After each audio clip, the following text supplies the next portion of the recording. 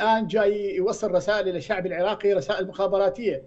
يعني كان المفروض تسألين ضيوفك هؤلاء اللي يقولون قوة جبارة قادمة للعراق من أجل إسقاط الكذا ومحاكمة المعروف إيش وهي خير للعراق. هذا كلام تسويق مخابرات. وهذا محاولة لإسقاط العراقيين ومعنوياتهم وإرادتهم حتى يستطيعوا القبول بأي شيء. ماكو قوة تأتي من الخارج الان من أجل خير السيد كريم لنقطة لنقطة. المساحة لكل ضيف بما يطرحه لكن هذا الطرح ما اجى فقط من فائق الشيخ علي. بعد فائق الشيخ علي هنا بالاستوديو ليش شبر أكد هذا الكلام. وحتى فتاح الشيخ اللي يعتبر مزاج صدر يوم أمس ذهب بهذا الاتجاه. تفضل.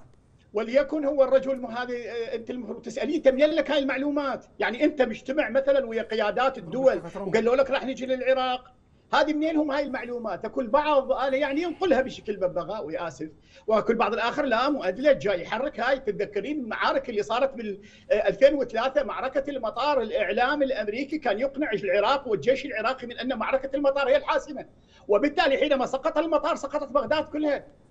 إحنا بال 91 أنا شاركت بالحرب اللي بال 91 كنت تحت الضباط.